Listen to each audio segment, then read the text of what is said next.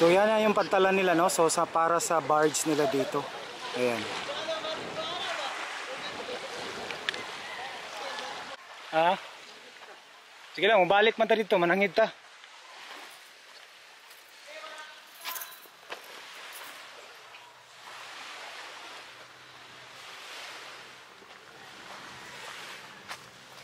So ayan na yung pantalan nila oh.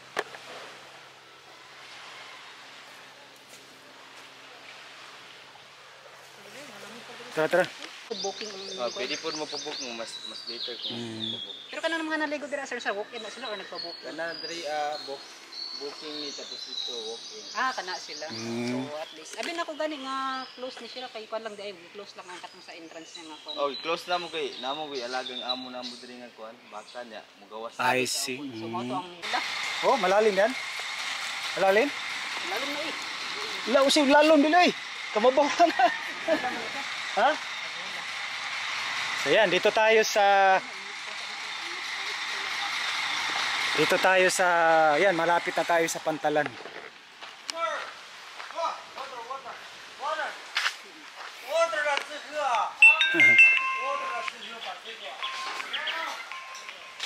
Ayan no, so ito na yung Pantalan last time. Ah, dito pa yung ginawa nila dito. So doon naka ano na sila doon. Naka may bakal na no, may tulay na. Sir, may hapon. Oh, pwede ta makaano dia sir, makaadto? Pwede tayo maka-update sir sa inyong gibuhat nga tulay sir. Okay ra ba sir? Okay ra makaadto? Tingon gipaundang daw ni sir. Vlogger mo sir? Oh, vlogger eh. Okay ra sir, maka-update sir. maka- Update ta kay Ah, di ta pwede makaadto dito. Okay ra makaadto dito sir. Ay, gardery. Suspendido. Ah, katong diri coral o kuan pa ni siya kaning patasaan pa ni. Ni pangtal kantalan. Mo na ni siyang kataas, wala wala na iisbog dito. O Oo, sumpayan pa ni. Wala na sumpay kana na nang Kanina ni. Ah. Mo ba? man ni kanang pantalan. Pantalan. Hmm. Kung sa itong gingong suspendido, sir? Dito dito guro sa kuan dito. Ah, sa landing point dito sa Pikas. Ah. So ayan o, ito na yung pantalan. Last time, dito lang muna tayo. Ngayon, ah, natapos na talaga yung pantalan nila din. So, diyan na yung mga barge, sir. No. So, kano, kano sa mo mag-ano, sir? Na yung mga barko na diri, sir? July. July. Ah, July, baka daw July, no? Ayan. So yan, by Chinese. Ano ni sir? Tangki. Oxygen. Oxygen, yan, mga sobra nila, no? Tapos, tapos na kasi sila dito. Ah, gigamit rin sa tulay na, sir. Ah, kani ba? Kaning oxygen rin na gigamit last time. Ah, sa pantalan. So, dito yun, yung mga nakita natin. Ah, yun, sobra yun. Saka sa, hindi kasi natin nasubaybayan itong paggawa dito. Dito lang tayo last time. Naka, so ngayon, mat- mataas na yung na, napuntahan dun.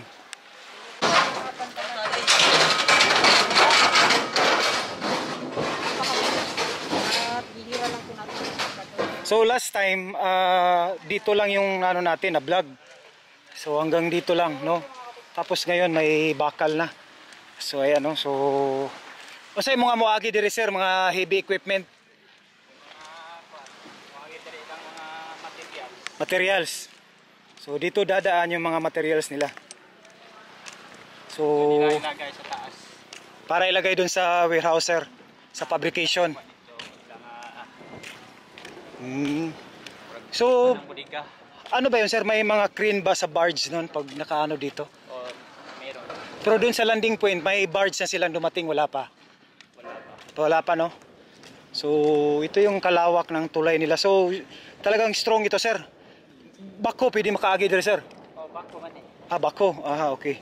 So pwede daw bako dito kahit no mga isang buwan lang sir no. Mga dalawang buwan na ano ito kasi last time doon lang kami sa yung mga simento lang ba fruitsing ngayon. Naka buwan man ang kuan niya dito. Oh. So yan no. So ito na yung pantalan. Ayan, so si Tito Tans, kasama-kasama pa natin yung kasamahang vlogger natin. Yan, Tito Tans. Least naka- Ayan. Okay, so dito na yung pinaka main bar, ah, pantalan nila. So dito da lalanding. Asa mo landing ang kuan diri sir? Ang barge diri. So kani sir morning mga ano? Morning talianan Nung ka sa mga kwan bar. sa mga barge kanang mo kuan. Mo kanang ilang itali ang kuan. Kaya no. Nya musaka sila sir diri na. Dali na. Ah diri. Asa man dapi sir? Pag igo, igo sa barge diha, asa sila mo kuan? Ah diri. So dito sila ah, ano, aakyat. So kana sir, unsa na pili po na mga kuan, mga pas di pasahero na. Ah, para na sa inyo project sir, naghatod. Ah, okay. So dito aakyat, dito yung mga barge. So lawak sir no? Sir, unsa man sir nganong nga nilang Yun ang talianan. Ah, talianan lang diri ah. Yung sa ano, ta, mahulog ka diyata. Yun ang parang una ang si tawagan na sir? Para sa Ano na ko ba gidikit kung mudikit ang barko diri sir no? Baka naay harap. Para lang ah, para di madumbol diri. Ah, para hindi talaga sasagad dito yung paglanding ng barge. Diri ah. So yan no, yun ang saan ba yung Tito Tans? Yun yung no, yun center yan no. Ay no no, doon pala, sorry. Doon pala yung ano, doon pala yung landing point. Tapos doon yun. Shout out. Ayan, so yan no, malawak. So Makauli mi dito, dito may magi sir. Pwede. Ah, pauban lang minimo ta. Salamat sir, amo nang na-promote mo ang kuan sir, inyo ang kuan. Ayan no, so may ilaw na. Ayan. So malaki kasi ah, siguro.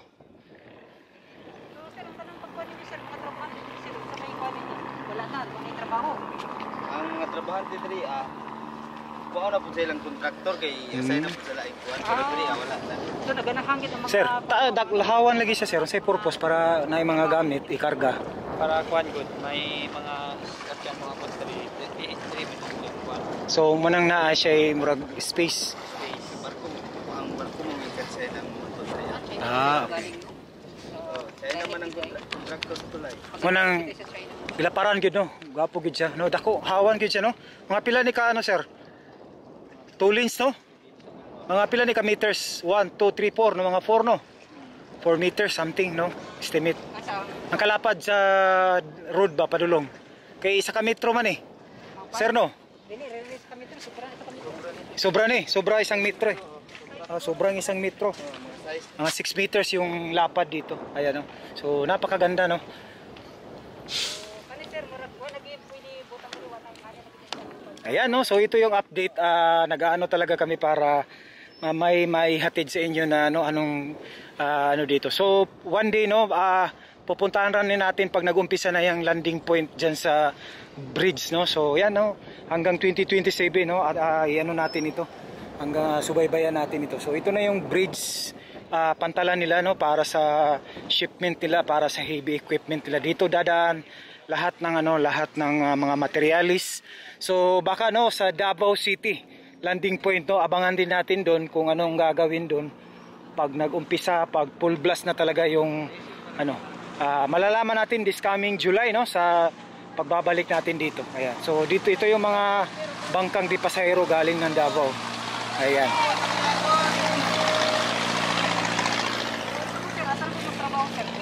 70, 70. 10 man na nabilin siguro. Ah, so bitaw na. Ting taas ah. Taas kayo. Tanggalon man gyapon. Gyud sa paglubo ni gikrin gyapon. So yan ho, dito na yung pantalan nila. So ito yung ilalim ng tulay.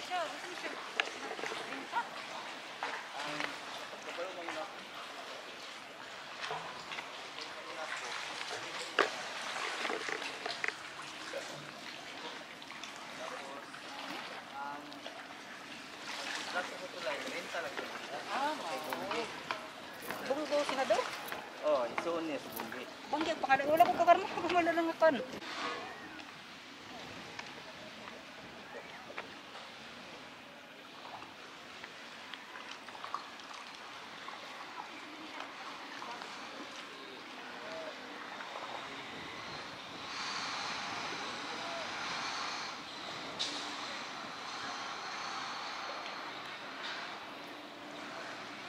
Kanang nagbantay draan ang kuan. Rehead nila motor. Okay na guys. Ah, baga sa ihagyan mo na. So, ayan, oh. Yung kanina sa I love SG 5G, ah, 5G Sombresa. So si Sir mga kapatid. So, oh, yan sa kanina sa Blue Jazz ba ni Dria? Ah, sa Blue Jazz. sa Blue Jazz at sa 5G Sunrisa. So Sige. sila pong dalawa yung mga caretaker ba tawagan na sir? Mga Oh, ano ka na pwede. Ano dyan? caretaker no, pwede caretaker ang tawag. Sige sir, shout out sir. Yung mga Sa inyong lugar. Asa ito inyong lugar? Sa Tibuli. Dili sa kuan. Sa Parang. Sa Cotabato. South Cotabato. Ayan, sir. Shout out sir. Ayan, so dito pag nakaano na pala yung mga birds, hindi yung malalaki talaga. Hindi dili itong mga dagko kay sir no. So yung mga ano lang pang pang work lang na birds. O mga maliit lang. Maliit lang. So yung mga maliliit lang pero hindi natin alam itong mga resort dito na I love 5, 5G. ah, hindi natin alam no pag nag-park na dito, pag nag-umpisa na yung may oil ba yan sir? May oil spill? Hindi ko alam. O baka kasi pa, pa ganun yung dagat doon. So baka yan no, ah, titingnan na lang natin pag naka ano na dito yung mga mga barge nila sa mga materialis. Ayan.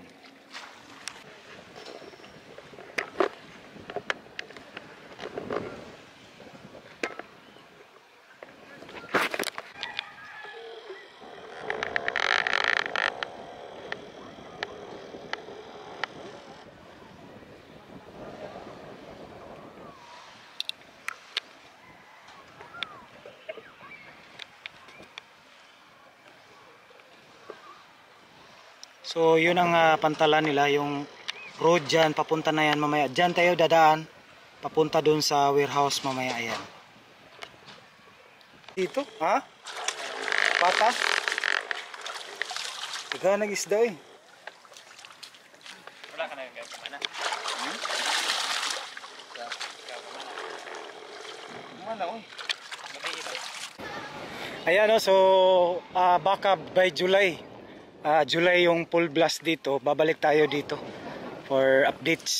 Ayan, so baybayan natin talaga ito. Napakaganda dito pag maligo. Dapat sa susunod Tito Tans, maligo. Ah, Pero mainit. So yan, salamat pina sir. Sir, Sige sir.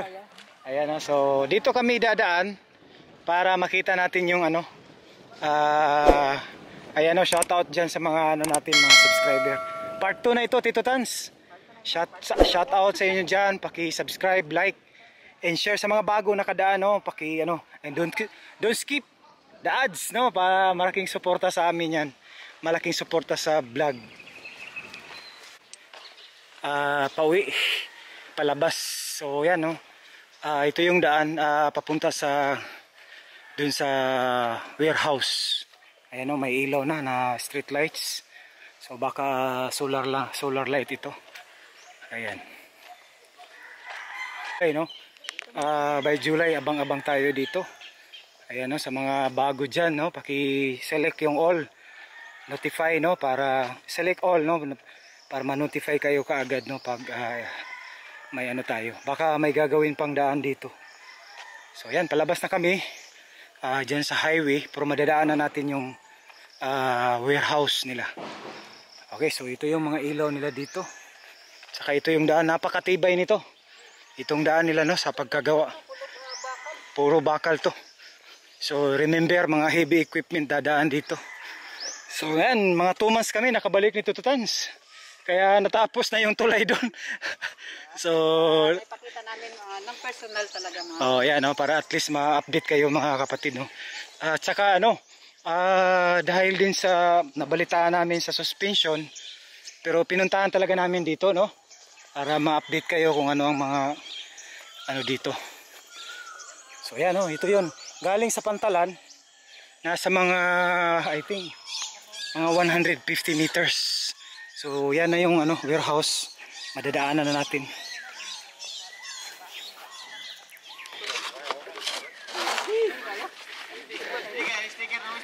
Sus, nakalimot mi ba? 30 yung limtana. Ito TV Royal Pia ha. Nag-vlog mi, nag-vlog.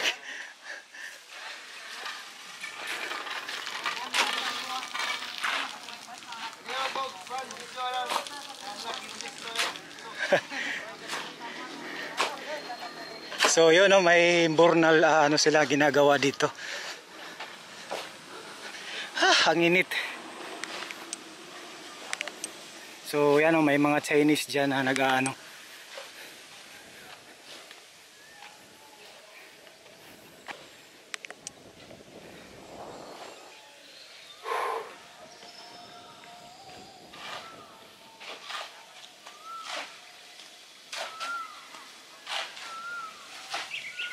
So napaka ano talaga ng Chinese pag magtrabaho no.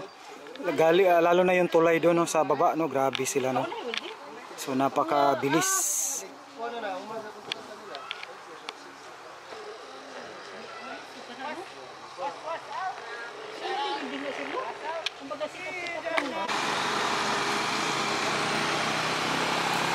Ayan no, so pauwi na tayo. Ah, pupunta pa tayo doon sa ano ah, pangalan nito.